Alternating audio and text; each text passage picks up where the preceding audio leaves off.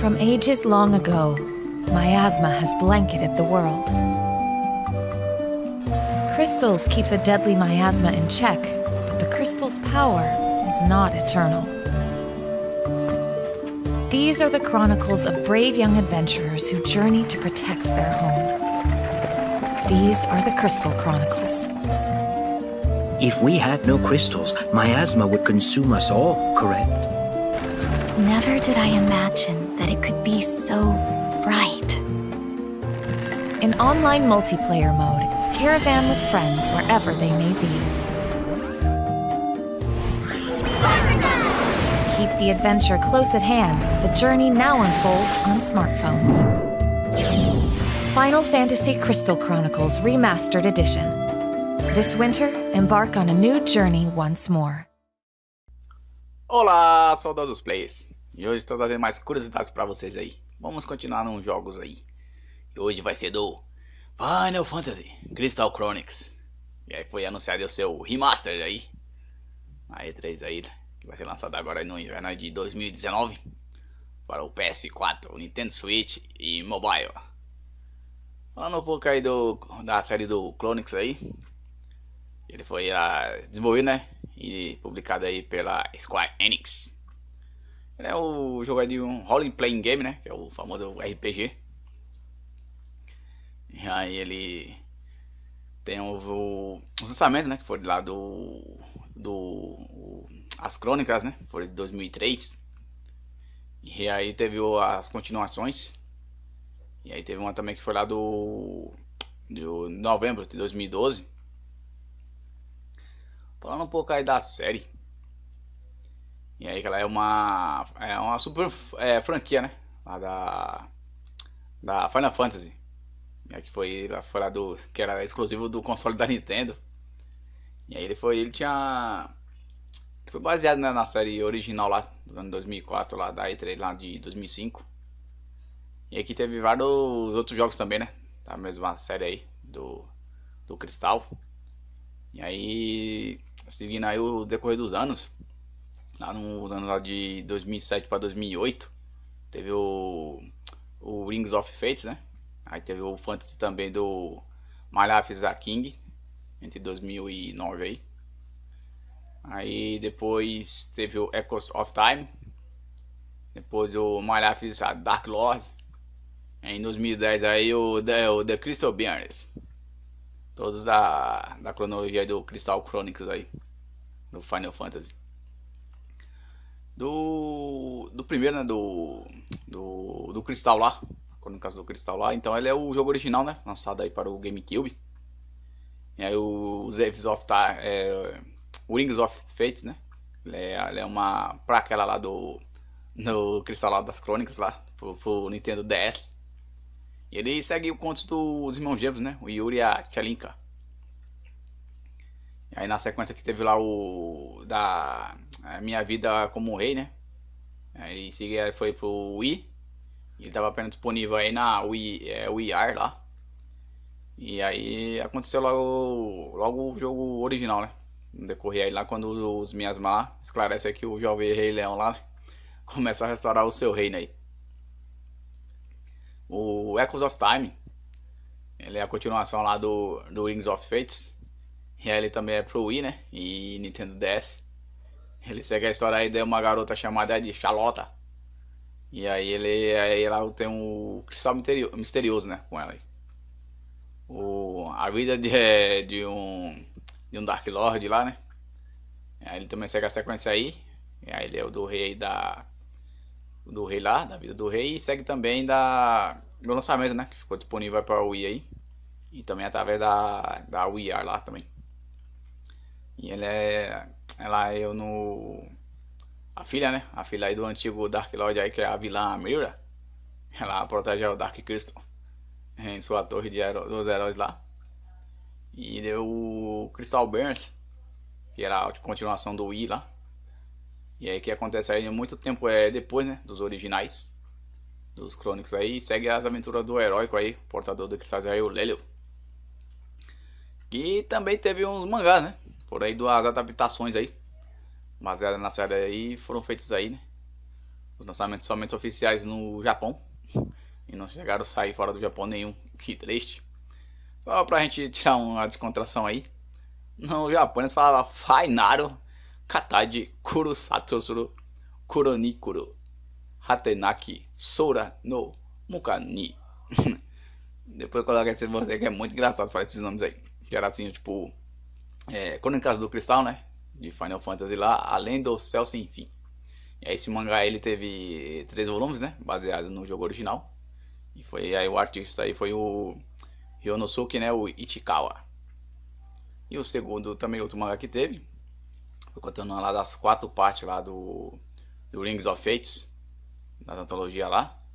Também é baseado aí na, na história do Rings of Fates também. Os, temas, os elementos, né? Assim no jogo também. Da série do Crystal Chronicles aí que acontece ao mesmo, é, no mesmo mundo, né? Embora que é diferente assim, em alguns períodos, é, como lá no projeto da Invalence Alliance, é um, é um aspecto principal, né, de envolver aí as quatro tribos da, é, lá do universo, né, dos cristal lá, que era o Clevent, o, o o Yux e os, é, os Litius. E com todas as diferenças, né, dos aspectos físicos também, traços únicos aí. Outras criaturas também aparecem geralmente são os os Carmuco lá. Seguindo a série da evocação dos originais lá da série. E também. Você vê na continuação da série outros personagens lá, os Stilkzinks, os Moguls. Mas mais um pouco a palavra virar ali é, Google. e aí que ele é o viajante, né? E aí o único personagem que é, aparece em todas as parcelas até hoje. A Ulich. Ele fez algumas aparições, né? Como personagem aí, chefe. Eles também é quatro locais né, recorrentes até o momento, que são as ilhas lá, né? A Quilanda, a Rebena Tirá, o caminho do Rio Barry e a Amphitheria. E aí, lá no, no modo até de jogabilidade, né? O jogo Cristal, ele tem diferentes né, muitos das séries do principal lá do original. E aí que são é um caso assim, ação de multiplayer, né? E também uns mini jogos recorrentes. E o Moogle Paint, Ainda o jogador tem a opção né, de pintar aí um mungo. Né? É, isso também tem uma, algumas ações né, dos cristais lá, que são geralmente parte principal da história aí. E gira em torno de um pedaço do grande cristal, né? E aí no, nas crônicas aí os fragmentos do grande cristal, eles protegiam é, todos os miasmas aí. E aí o, lá no Rings of Fates, o principal antagonista lá, o Hierophant Gelds, ele está tentando, né, obter o poder do grande cristal. E aí os cristais aí também fazem parte da vida aí cotidiana das pessoas. E uma pessoa especial aí é a Tchalinka lá, né, que realiza aí quando, quando nasceu, né, desempenhando aí uma, um papel importante na vida dela com seu irmão Yuri. Aí que segue lá na história do é, da King. Um fragmento, né, do grande cristal aí. Ele concede ao rei Leão, né, o poder lá de, de arquiteto, né para ajudar a reconstruir seu reino. E já no Ecos é, do Tempo, a aldeia né, do que o herói habitava lá. E aí o cristal mantém aí os aldeões né, no reino físico aí. E aí no, no cristal Binhos, quatro cristais lá, né, ele, ele é um para cada tribo assim. E representa a linha da vida né, das tribos. É evidente que os Yuks né, desaparecem né, quando os cristais aí de Yuk é destruído. O, a família que desempenha um papel também importante dos personagens principais na, na saga dos Crônicos. Os personagens recebem cartas né, é, dos membros da família e o jogador responde aí, né, os efeitos né, com as cartas aí, tipo presentes que recebe, né, dos membros das famílias. No Ring of Fates, a história gira em torno da seleção, né, entre os irmãos lá gêmeos e a irmã lá, o Yuri e a Tchalinka.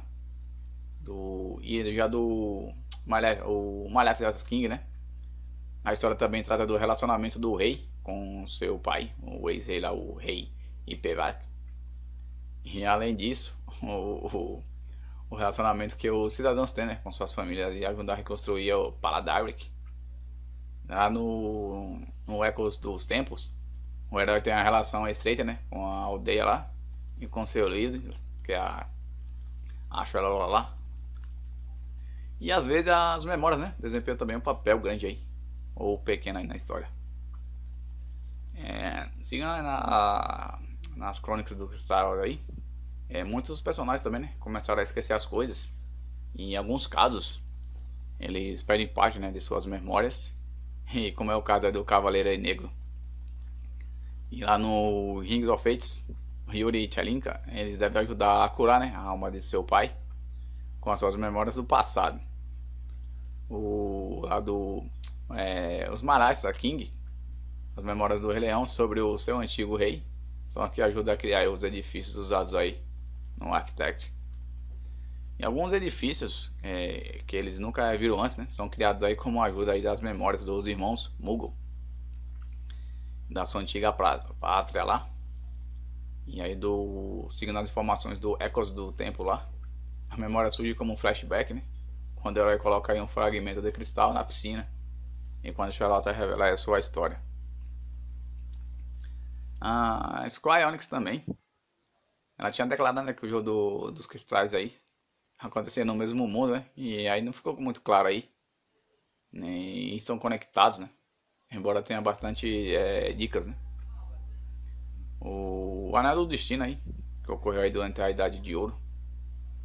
É, onde todas as tribos né, viviam em paz. E aí quando o grande cristal aí que protegia as pessoas, o brilho maléfico da lua vermelha lá, que era do sangue. Aí que o mundo né, que estava sendo protegido por um gás venenoso conhecido aí como os miasmas ao qual a exposição direta poderia ser fatal né, para os humanoides. E o grande cristal aí usa as memórias como fonte é, de seu efeito protetor, né? Aí é o lado de Riberna, né? Turá. Aí ela é uma ilustre né, da cidade capital da época aí. E aí milhares de anos depois, um meteorito atinge aí o fragmento aí do grande cristal. Estabelece os eventos da Crônicas do Cristal originais. E aí, enquanto o mundo os monstros, né? São imunes aí. Na, nas cidades aí, aldeias e outros assentamentos. E deve ser protegido aí dos efeitos nocivos, né? Dos miasmas aí. Lá dos fragmentos aí com... Do grande cristal, né? Ele gera aí uma barreira aí. Que os miasmas não podem penetrar, né? O efeito dos cristais vai durar cerca de um ano, né? E aí o... Você é, pode ser resgatado, né? Lá com a substância lá. Da líquida lá do, do Mirror lá é obtida lá na árvore de mira. E aí devido à sua proximidade, né? Ponto lá de impacto lá, lá do meteoro, aí o na cidade, na cidade lá das ilhas de da de Rebena, né, da Tireira, é que se tornou aí uma ruína, né, cheia de monstros aí, quase imediatamente após o meteoro, né, ter caído aí. Aí os jogadores, né, na tipo lá caravana, aí eles acabam aí por é, derrotar lá, né, o Raim lá. E aí livrando aí o mundo aí dos Miyamas aí. E aí é, vai decorrendo as histórias, né? Conforme lá na história do como um rei, né? E na vida de um, um Dark Lord, né?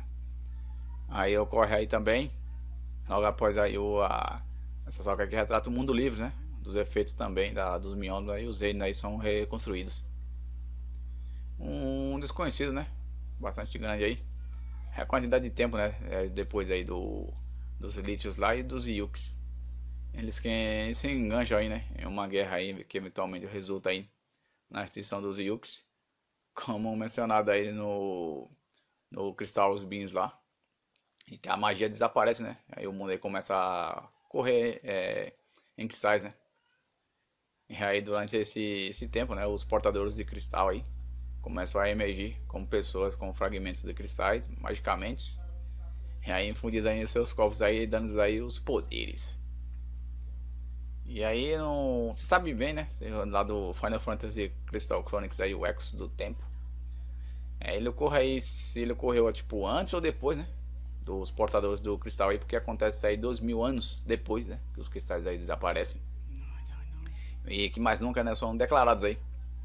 Aí quando eles desaparecem, é, no entanto, também é, poderiam né, ser uma linha do tempo aí alternativa.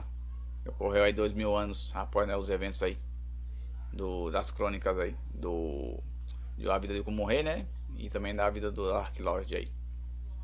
Mais detalhes da criação.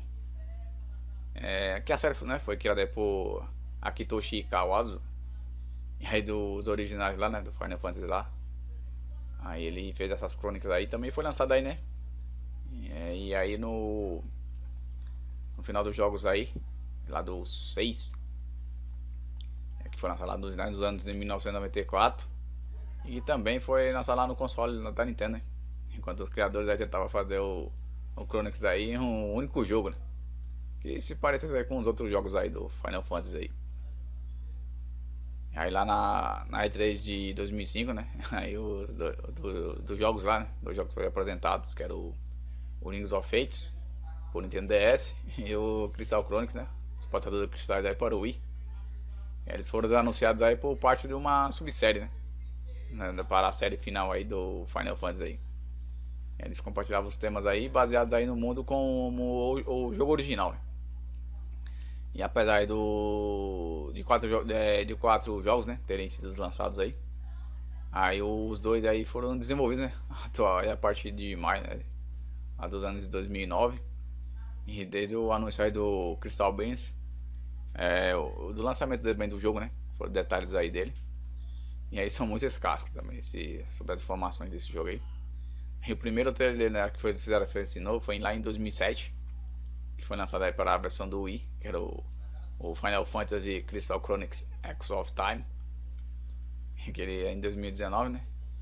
E aí também lá em 2008 tem uma edição aí da Electronic Game Mods, que afirmou que o jogo tinha sido é, silenciosamente cancelado. E aí, embora a Square Enix respondeu dizendo que eles pretendiam né, é, liberar totalmente aí o jogo. Aí o Crystal Beam aí foi o lançamento, né? De dezembro de 2009 aí. E algumas informações atrás também do projetos, né? E aí muitos dos projetos são os inimigos, né, que são tirados aí diretamente do Final Fantasy IX. E alguns exemplos aí incluem aí o Gingatoff e o Heritage Party. O jogo também ele compartilha, né, vários elementos temáticos aí lá do Final Fantasy IX, sendo as mais notáveis as memórias, né? E essas são algumas curiosidades aí só dos plays. Só deixando uma informaçãozinha de ouro. Esse último final de semana foi que passou o evento do Museu do Videogame. Lá no Shopping Interlagos. Quem prestigiou o evento, espero que tenha aproveitado bem aí e jogado o máximo de games dos consoles aí. Eu espero uma próxima oportunidade para mim aproveitar também. Tem até vídeo no canal aí falando aí sobre o dia que eu fui fazer a visita. Eu agradeço aí a opinião e visualização. E sempre com joystick na mão. Não pause agora e continue no play.